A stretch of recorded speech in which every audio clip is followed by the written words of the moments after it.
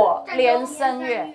大家都知道，古代没有电话，那怎么报警呢？拿火台，拿个火。烽火台，你上台，烽火台。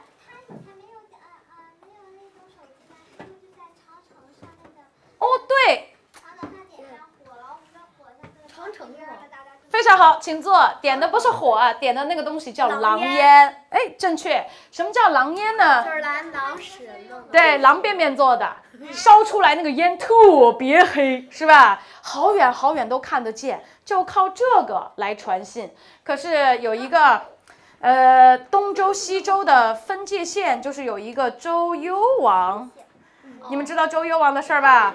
烽火戏诸侯，为了让自己的贵妃笑。面瘫的妃子就不爱笑嘛，面瘫的妃子褒姒，哎，让他笑一下，就老点那个烽火，一点呢，其他诸侯就来救驾，是吧？胖诸侯把瘦诸侯挤到护城河里去了，那褒姒一看，哈哈大笑，然后他就老点。后来还有人来救他吗？没有。后来外族侵略，没人救他啊！你看，我们说了，烽火连三月，家书抵万金。什么叫家书？家里头写的书。家里的来信，信家里来的信，正确。抵是值得上，有好多好多的，钱，哎，非常好。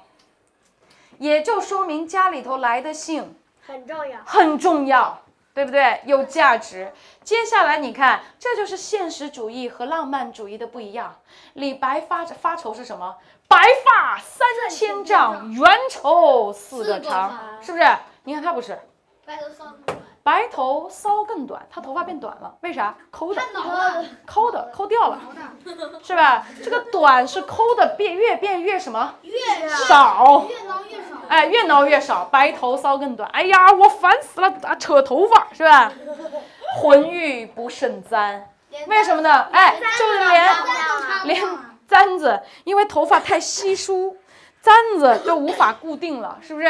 哎，簪子太重，而头发太少，这个听得懂吧？哦，所以不行了。好，我们说了，这首诗讲完了，一起来看一看。杜甫是真的在哭花哭鸟吗？不是的，为国家破败，百姓家破人亡，自己亲人离散而哀伤，看到了吗？他伤心，一个是为国，一个是为家。国是大家的家，家家是自己的小家。国家没了，小家散了，特别难受。在这里抒发了他强烈的什么？爱国爱国、忧国、忧民之情。